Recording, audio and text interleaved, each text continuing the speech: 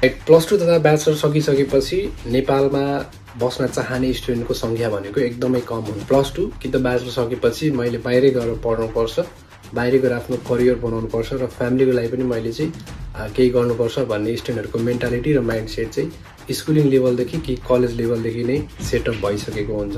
Maximum स्टुडेन्टहरूको चाहना भनेकै Australia Japan Canada UK लगायत युरोपियनको धेरै कन्ट्रीहरूमा जाने हुन्छ। त्यसका लागि एकदमै धेरै इम्पोर्टेन्ट मानिने भनेको चाहिँ एनओसी लेटर थियो। बिचमा त्यो एनओसी लेटर नदिने भनेर कुरा आयो। पछि त्यो नियमलाई त्यो रुल्सलाई चाहिँ केही समय लागू नगर्न भनी सुधार आयो र स्टुडेन्टहरूले अहिले एनओसी चाहिँ पाइरहेका छन्। त्यो एनओसीसँग सम्बन्धित अहिले फेरि अहिलेको शिक्षा मन्त्री अशोक कुमार राईले चाहिँ एउटा नयाँ प्रावधान ल्याउनु भएको छ नयाँ एउटा रुल्स ल्याउनु भएको छ। त्यसले चाहिँ स्टुडेन्टहरूलाई अब केहीसम्म भए पनि सुधार हुने भएको छ। साथै आजको भिडियोमा त्यो सँगसँगै अर्को एउटा स्टुडेन्ट प्याकेजको विषयमा पनि तपाईँहरूलाई आइडिया सेयर गर्न गइरहेको छु न्युज सेयर गर्न गइरहेको छु। सो भिडियो छोटो मिठो छ पुरा भिडियो हेरिसकेपछि आफ्नो मनमा लागेको कुराहरू तपाईँले कमेन्ट बक्समा दिल खोलेर लेख्न सक्नुहुनेछ। सो पुरा भिडियो हेरौँ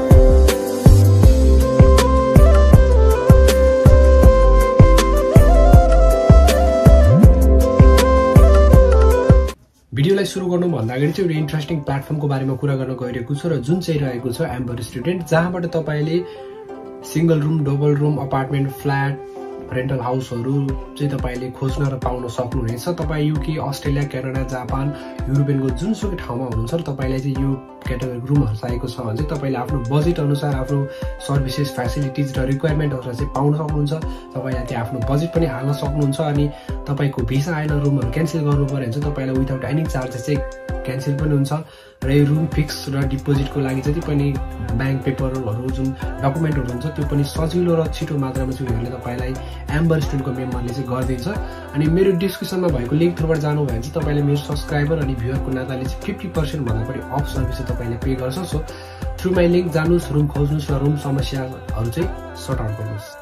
Hello guys right back again it's me your code host Sanjay good morning and मिठो namaste to you all welcome and welcome back to new day new video and new episode of Nepali Babu in UK I hope all guys are doing great अनि म पनि एकदमै ठिकै छु सन्चै छु हजुरहरूको माया अनि आशीर्वादले यदि मेरो च्यानलमा तपाईँहरू कोही नयाँ जोडिनु भएको छ भने चाहिँ च्यानलको सब्सक्राइब बटन दबाउन नबिर्सनु होला अनि पुरा भिडियो हेरिसकेपछि लाइक सेयर र कमेन्ट गर्न पनि सक्नुहुनेछ सो आजको भिडियो चाहिँ अब के टपिकसँग रिलेटेड छ छोटो मिठो भिडियो चाहिँ केसँग केन्द्रित छ भने चाहिँ तपाईँले भिडियोको हाइलाइट टाइटल र थम्नेल हेरेर पनि थाहा पाइसक्नु भएको छ। यदि थाहा पाउनु भएको छ होइन केही छैन पुरा भिडियो हेरिसकेपछि सम्पूर्ण जानकारी तपाईँले पाइहाल्नुहुनेछ। सालमा चाहिँ अहिले स्टुडेन्टहरूको जति पनि जे मास छ स्टुडेन्टहरूको जति पनि प्लस टू सकेपछि मास्टर सकेपछि अथवा ब्याचलर सकेपछि चाहिँ मेन मेन्टालिटी र मेन ड्रिम भनेकै नेपाल छोडेर अरू देश जाने। नेपालमा तपाईँहरूलाई थाहै छ अहिले केही समय अगाडि के के काण्ड आएको थियो अहिले फेरि भुटानी शरणार्थीको काण्ड आएको छ। यस्तै खालको पोलिटिक्सको गेमले चाहिँ नेपालमा पढिसकेपछि राम्रो करियर छैन राम्रो जब अपर्च्युनिटी छैन राम्रो इम्प्लोइमेन्ट छैन। त्यसमा जानको लागि पाउनको लागि केही राम्रो पढ्नेहरूको लागि पनि लिङ्क चाहिन्छ कनेक्सन चाहिन्छ कि त पार्टीको झोले बनेर हिँड्नुपर्छ कार्यकर्ता बनेर हिँड्नुपर्छ त्योभन्दा ठुलो प्रगति नेपालमा बसेर केही पनि छैन। होइन? त्यो भएर पनि धेरै कन्ट्रीहरूमा चाहिँ स्टुडेन्टहरूको फोकस हुन्छ। किनभने त्यहाँ गएर जति दुःख भए पनि राम्रो फ्युचर छ राम्रो करियर छ। After five years ten years पछि राम्रो सेटलमेन्ट राम्रो लाइफ छ। स्टुडेन्टहरूको त्यो सेटअपले गर्दाखेरि पनि पछिल्लो समय चाहिँ स्टुडेन्टहरूको धेरैको फोकस भनेको चाहिँ एब्रोड नाममा यो भनेको चाहिँ नेपाल विकास हुन नसक्नु र नेपालको शिक्षा प्रणालीमा पनि प्रश्न चिन्ह उठ्ने मेन पार्ट हो। अब यो कहिलेसम्म रहन्छ त थाहा छैन यस्तो विषयमा अब हामीले सोच्ने पनि होइन। बट आजको भिडियोमा चाहिँ तपाईँहरूलाई म दुईवटा कुरा सेयर गर्न आएको छु। नम्बर वान भनेको चाहिँ एनओसीसँग सम्बन्धित छ। त्यो अगाडि चाहिँ शिक्षा परिषद तथा एनओसी विभागले चाहिँ नो अब्जेक्सन लेटर चाहिँ अब केही स्टुडेन्टहरूलाई दिने र केहीलाई नदिने भनेर नियम ल्यायो। फेरि पछि त्यो नियम चाहिँ मिडिया मास मुभमेन्ट भइसकेपछि धेरैतिरबाट कुराहरू उठिसकेपछि चाहिँ चेन्ज भयो र तपाईँहरूलाई एनओसी दिने केही टाइमलाई त्यो नियम चाहिँ लागु नहुने तर त्यसमा रिसर्च भइरहेको इन्भेस्टिगेसन भइरहेको र लागु हुन सक्ने केही टाइमपछि भनेर भनिएको छ। जो जति पनि एब्रोड स्टडीको लागि तपाईँ चाहे जापान अस्ट्रेलिया क्यानाडा युके युरोपको जुनसुकै ठाउँ जाँदै हुनुहुन्छ जान चाहनुहुन्छ अब तपाईँले चाहिँ एनओसी चाहिँ घरबाटै अनलाइन एप्लाई गर्न सक्नुहुन्छ र अनलाइनै प्रिन्ट गरेर चाहिँ तपाईँले सम्पूर्ण कामहरू चाहिँ गर्न सक्नुहुनेछ। सो अहिलेको शिक्षा मन्त्री अशोक कुमार राईले बताउनु भए अनुसार चाहिँ सिक्सटी पर्सेन्ट काम सकिसकेको छ र फोर्टी पर्सेन्ट पार्ट मात्रै रिमेनिङ छ र त्यो काम सकिसकेपछि स्टुडेन्टहरूले सम्पूर्ण काम अनलाइनबाटै गर्ने र अनलाइनबाटै गर्न मिल्ने सुविधा आएको छ। के न्युज छ म भएलाई पढेर पनि सेयर गरिहाल्छु र त्यो न्युजको लिङ्क पनि म डिस्क्रिप्सनमा राखिदिनेछु र तपाईँले एनओसी कसरी एप्लाई गर्न सक्नुहुन्छ त्यो लिङ्क पनि मैले डिस्क्रिप्सनमा राखिदिएको छु। अनलाइन खबरले चाहिँ सो अनलाइन खबरले चाहिँ मे सेभेन्टिन तारिकमा चाहिँ NOC changes for studying abroad how will this impact for new student भनेर चाहिँ न्युज हालेको छ।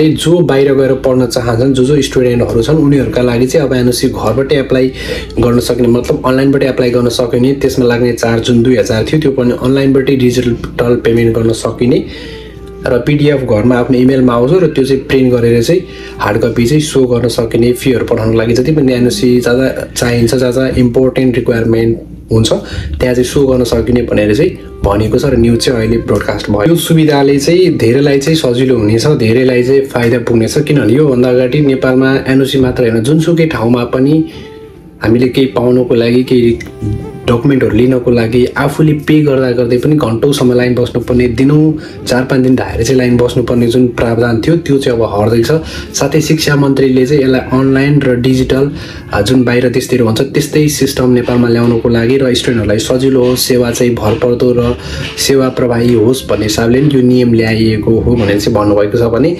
शिक्षा मन्त्रालयले दिने डकुमेन्ट मात्र होइन हरेक विभागले चाहिँ अब आफ्नो कामहरू चाहिँ अनलाइन गर्नुपर्छ डिजिटल गर्नुपर्छ। त्यो भयो भने चाहिँ सेवा सेवाग्राहीलाई सजिलो हुन्छ भरपर्दो हुन्छ भनेर चाहिँ मिडियाहरूसँग पनि बताउनु भएको छ। यो भनेको चाहिँ अब हामीले घन्टौँसम्म लाइन बस्नु पर्दैन।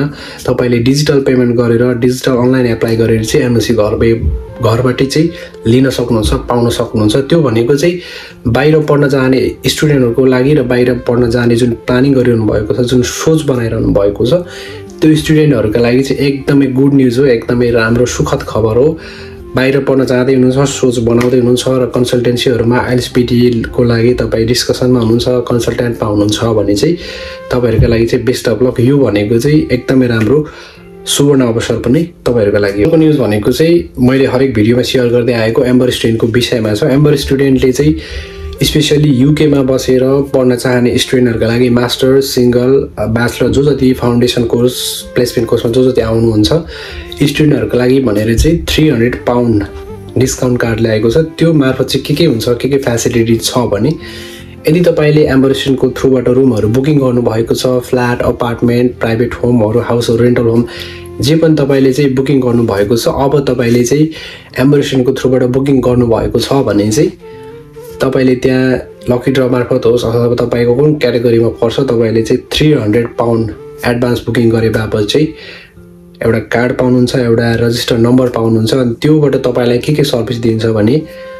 तपाईँले जे जे भन्नुहुन्छ जे जे तपाईँलाई चाहिन्छ त्यसमा तपाईँले खर्च गर्न सक्नुहुन्छ। जस्तै एयरपोर्ट पिकअपमा लाग्ने कस्ट भयो अथवा डिपोजिटको पेमेन्ट भयो होइन? अथवा सपिङ भयो सिम कार्डहरू भयो लगेजहरू भयो सपिङहरू भयो जे पनि तपाईँले चाहिँ त्योबाट गर्न सक्नुहुन्छ। यो भनेको चाहिँ एमआर रेस्टुरेन्टले एउटा युज प्याकेज ल्याएको हो। यो चाहिँ सबै कन्ट्रीमा चाहिँ लागु भएको छैन। स्पेसल्ली युके पढ्न आउन चाहने आउने प्लानिङमा रहेका स्टुडेन्टहरूलाई चाहिँ टार्गेट गरेर ल्याइएको एउटा प्याकेज हो।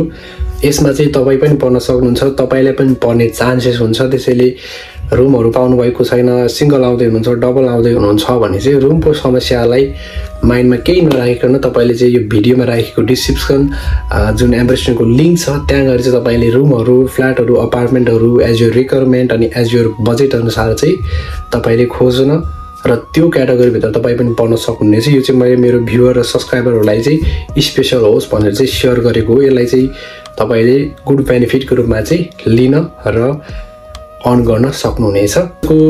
यो छोटो मिठो भिडियोमा मैले सेयर गरेका दुईवटा खुसीका खबरहरू दुईवटा न्युजहरू पक्कै पनि तपाईँलाई काम लाग्ने हुनसक्छ। यदि तपाईँ पढ्न चाहँदै हुनुहुन्छ एब्रोड स्टोरको लागि प्लानिङमा हुनुहुन्छ भने चाहिँ तपाईँलाई यो न्युजले चाहिँ प्लस पोइन्ट हुनेछ र तपाईँको जुन डकुमेन्टेसन पार्ट छ प्रोसेसिङ पार्ट छ फन्डिङ पार्ट जे जे छ त्यसमा चाहिँ यसले मोटिभेसन र एउटा इन्सपिरेसन एउटा इन्करेजमेन्ट दिन्छ भन्ने मैले आशा राखेको छु। होप मेरो भिडियोले तपाईँहरूलाई चाहिँ मोटिभेसन मिलिरहेको छ इन्करेजमेन्ट सँगसँगै गाइडेन्स मिलिरहेको छ। अझ यो मेरो च्यानल मार्फत तपाईँ अस्ट्रेलिया क्यानाडा जापान युके सम्बन्धी स्टुडेन्टका रिलेटेड जस्तो पनि भिडियोहरू चाहनुहुन्छ भ्लगहरू चाहनुहुन्छ त्यो तपाईँले चाहिँ कमेन्ट बक्समा कमेन्ट गर्न सक्नुहुनेछ। केही अझ फर्दर इन्फर्मेसन चाहनुहुन्छ भने पर्सनल लिङ्कमा राखेका डिस्क्रिप्सनको लिङ्क थ्रुबाट तपाईँ मसँग जोडिन सक्नुहुनेछ। आजको छोटो मिठो भिडियोबाट तपाईँ सँगसँगै म पनि बिदा हुन्छु। भिडियो अन्तिमसम्म हेरिदिनु भयो माया गरिदिनु भयो। तपाईँहरू सबैजनालाई एकदमै धेरै थ्याङ्क यू सो मच अर्को भिडियो अर्को ब्लग र अर्को एपिसोडमा हामी फेरि भेट्नेछौँ। त्यति दिनसम्मका लागि नेपाली बाबु न्युके युट्युब च्यानलबाट म सन्जय पनि बिदा हुन्छु। नमस्ते यो चाहिँ आमेन।